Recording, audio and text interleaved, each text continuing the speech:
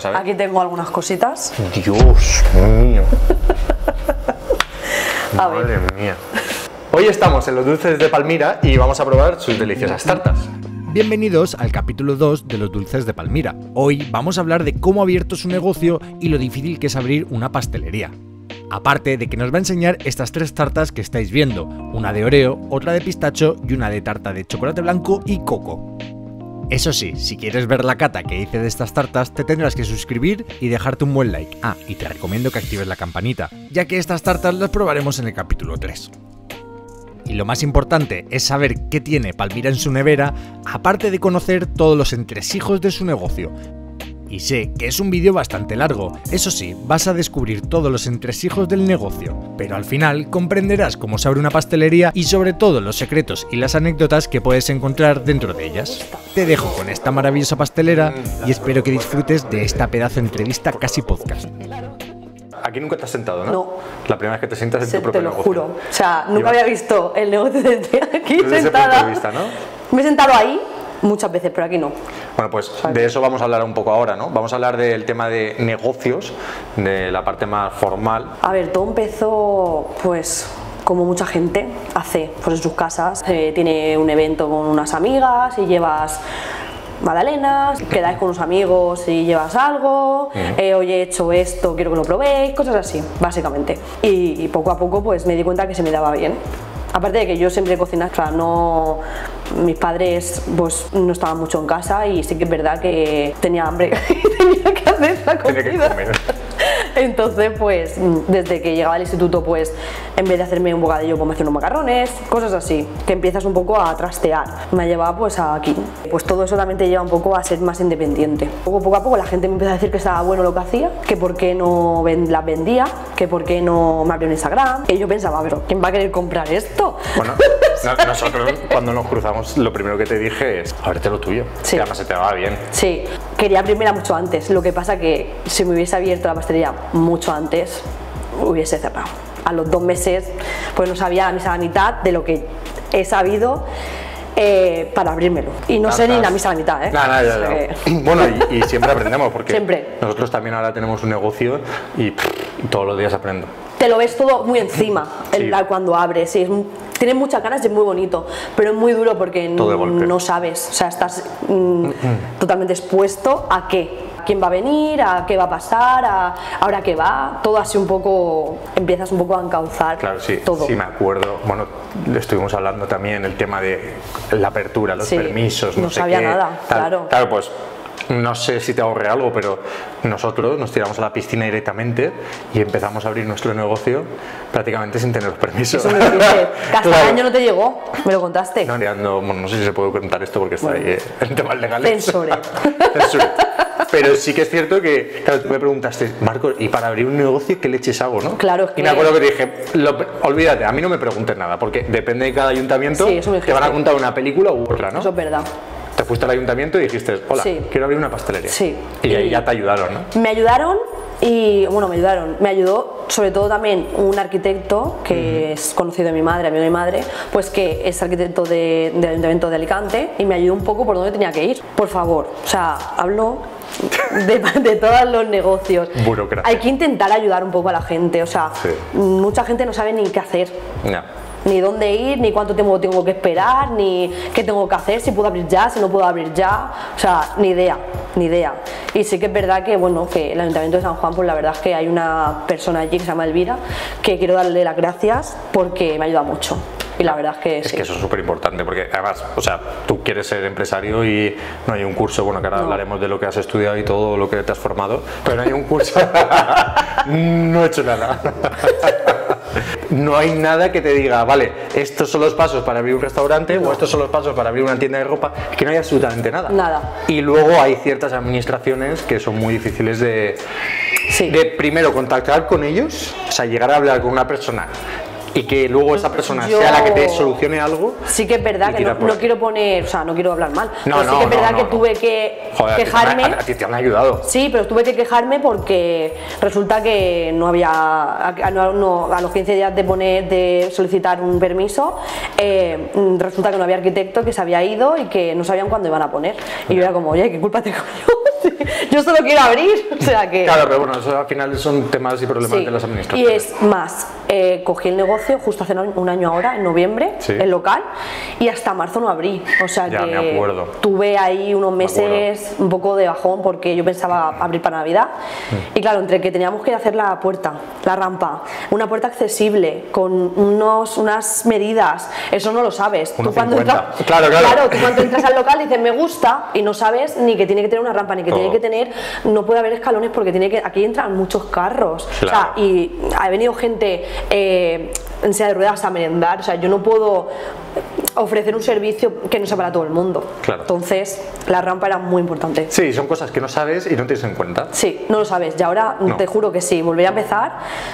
hay muchas cosas que haría diferentes. Áreas diferentes y sobre todo las planificarías, Sí, creo yo. sí, exacto. O sea, igual no me cogería un local que no tuviese rampa. Sí, porque encima tienes que hacerla y aparte de hacerla que tener el permiso, que el arquitecto sí, te la apruebe, porque te- tiene- tienes que presentar un proyecto. Sí, sí, sí, de esa rampa, de Es la de obra. locos, para una de- rampa, Sí, ¿eh? sí, del, de, de, suena, ¿no? de si no vas a ocupar toda la acera, que la gente tiene que pasar, o sea, bueno, que es una rampa que la mayor del tiempo estaban dentro. Sí, sí, sí. O sea, del, del propio, me quedé como una semana sin puerta. Sí, ¿verdad? Tenía que poner, tenía que poner un cartón, la verja y un cartón y la alarma. O sea, bueno, fue como. A ver, tam- también te digo que luego siempre las administraciones te dan como primeras, segundas, terceras oportunidades. Sí, bueno, no, Porque, a mí no me- a mí escucha, directamente Este sí. es el segundo año que llevamos abiertos allí en Alicante y ahora, después de dos reclamaciones de la administración, hemos puesto una, una puerta que se abate. O sea, de estas corredizas. ¿Por qué? Porque claro, al abrirla invadía la calle. Aquí Ah, tienes una claro, es que- cuadri- claro, claro, es que eso es importante también. Claro, pues tú imagínate que tienes la puerta justo ahí en Y la aparte calle. tiene No. que abrir en sentido de la evacuación. Claro, O pues sea, sí, también, porque que- es un sitio por de, si hay un- de de- gente alto claro. concurrido. ¿eh? Sí, No sé o si hay eh, fuego, tiene que ser que, que se pueda abrir la puerta, porque si no, si hay una avalancha de gente para afuera y si abre la puerta para adentro, si está toda la gente acumulada, no se puede abrir la puerta. Nah. O sea.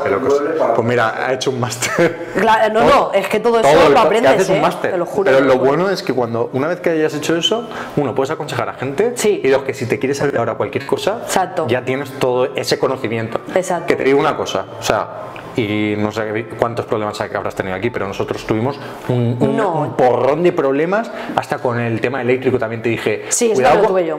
¿Te acuerdas? Sí que es verdad, pero porque mm, tenía un aire más antiguo y qué pasa que me saltaba el plomo cada vez que ponía el aire y el horno. Hmm. ¿Qué pasa? Que ahora lo he cambiado y ya no salta el plomo.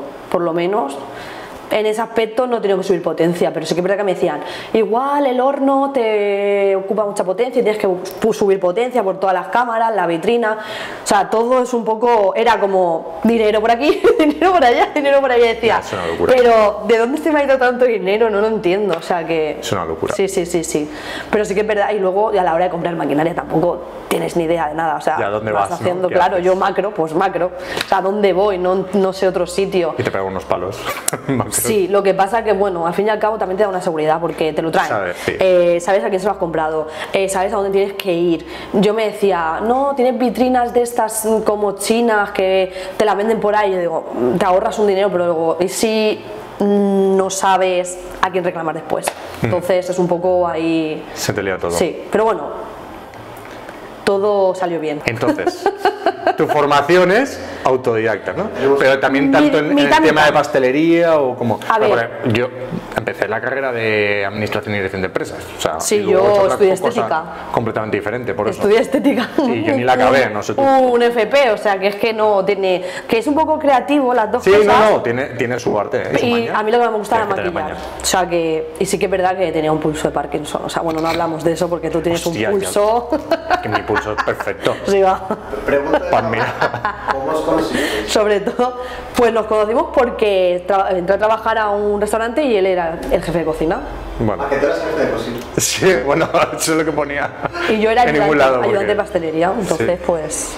Y Palmira, cuando iba a poner una flor era esto. No, Palmira, tía. no, Que, te, que no, no era así. ¿No eras tú así?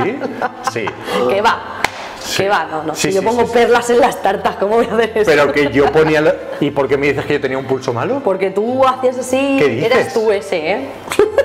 Que escucha, que hace muy buenas tartas, pero tiene un pulso horrible. No, no, no. La verdad es que Bueno, conocimos eso en, en un restaurante, en un restaurante. en un espacio. Nada, no sé. La verdad es que yo entré sin saber prácticamente nada. O sea, yo hacía tartas en mi casa, pero de lo que hemos hablado antes, de postres de restauración o eh, estilo lo que hacíamos allí, era totalmente diferente a lo que yo hacía en mi casa, pero nada. Sí que es verdad que lo que hacía era más sencillo, pero yo, por ejemplo, en- entré sin saber hacer nada y salí eh, sabiendo bastante, hacer bastante cosas. Encima, sí, sí, sí. daba un servicio sola, o sea, que estaba sola. Me acuerdo. Sí, o sea, que a veces te me comías, te entraba. comías unos marrones que a veces me entraba el pánico porque es que era mm, que, Pero es que ¿por qué estoy sola aquí. estábamos en un sitio con bastante estrés Sí, sí, y bueno, había que ir corriendo para todos los para todos lados. Y claro, también tienes un nivel que ofrecer.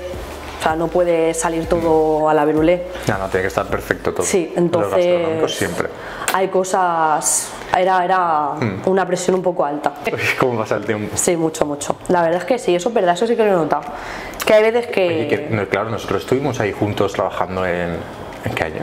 En el 2020, creo. ¿No, 2020? Sí, porque hubo Sí, el parón. justo, claro, y a mí Pablito me llamó eh, el día de mi cumpleaños, además, para hacer la Eh. entrevista que aún estábamos cerrados. Y dije, "¿Pero ¿para qué me llamas? Y me hizo una entrevista Yo en mayo. pero- Pero a ti te llamé. Nada, ya hemos hablado un poquito del tema del negocio. Ahora solo falta saber qué es lo que vendes y el producto, ¿no? O sea, esa idea la plasmas y qué sale. Eh, pues lo que hemos hablado, siempre ha sido como un- mucho a tartas personalizadas. Sí que es verdad que al tener servicio al cliente, pues tienes que poner algo para vender aquí. Entonces, no puedo vender una tarta personalizada mm, que te la vas a llevar a tu casa. O sea, sí que puede, lo que pasa que. Con la foto de- Claro. del niño de Pepe. No, o yo que sé, así muy. Eso es muy, eso es muy generalizado. Sí que es verdad que pues tengo mm, tartas de muchos sabores, donde la gente puede elegir mm, el que quiera. Se lo lleva por porciones y. y tengo que saludar Hola. a la gente. Sigue, sigue, no pasa nada. Y, Natural. y se llevan, por ejemplo, una porción o dos, o una porción y un donut, o va- los croissants, por ejemplo, de pistacho, la gente dice que están muy buenos, eh, las cookies rellenas también y cosas así. O sea, es como más para llevar. Porque el producto estrella más o menos, has dicho que eran las tartas, pero realmente no solo las tartas, sino por ejemplo has dicho los croissants, ¿no? Claro. Bueno, y hacías los rolls estos, ¿cómo se llaman? Sí, no, eso ya no lo hago. Ya pasas, ¿no? No. Los New York Rolls no deja de ser un croissant. Es un croissant Enrollado. hojaldre enrollado, chafado, Mm. que no ha crecido, ¿no? No, sí que crece porque fermenta para que sea Ah. Sí, así gordito, pero mm, sabe igual que un croissant.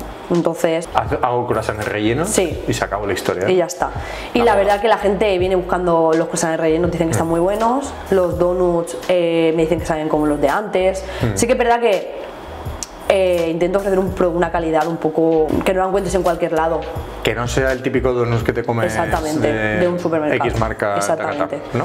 Sí, un poco así. Las tartas sí que más distinción, si son de un sabor en concreto, que sean de ese sabor, Mm. un poco así. Y Palmira, el combo perfecto de alguien que tenga que venir aquí a los dulces de Palm, ¿cuál sería? O sea, ¿qué se tiene que llevar? Eh, croissant de pistacho, ¿Vale? donut, mm, yo de cualquier sabor está bueno, pero por ejemplo a mí el chocolate blanco me encanta. El donut. Oh, ¿tienes donut? Donut de chocolate blanco con filipinos está muy bueno, o sea, a mí sí me encanta. Es más, el chocolate blanco que compro es que está muy bueno. Y luego, sí o sí, un trozo de tarta de queso. Vale. O sea, eso, Y ahora te voy a poner un compromiso, habrá que probarlo, ¿no? por supuesto. Ah, No se diga más. Pues nada, vamos a probar Ahí los estamos. postres. A mí me, me da más igual. ¿eh? ¿Vamos? Yo no voy a probar. vamos. Yo no voy a comer. Este es harta, ¿no? ¿Sabes? Aquí tengo algunas cositas. Dios mío. A ver. Madre mía. Escucha esto, ojalá fuera mi nevera, ¿sabes? No, es que está, está espectacular. A ver. Toma, uno para Vale. Y si has llegado hasta aquí, solo te tienes que suscribir, dejar un buen like y como te he dicho al principio, darle a la campanita para poder degustar esta tarta conmigo y así saber lo ricas que están. Porque en los próximos días subiremos el capítulo 3 probando las tartas de Palmira. Y sí, habéis tenido que esperar. Espero que os haya gustado este vídeo y os dejo aquí al final el link del resto de capítulos. Y si quieres sentarte como nosotros y probar los dulces de Palmira, solo tienes que visitarla en San Juan de Alicante. Lo buscas en Google y lo tienes listo. Así que nos vemos en el próximo vídeo. Chao golosones y espero que os haya gustado.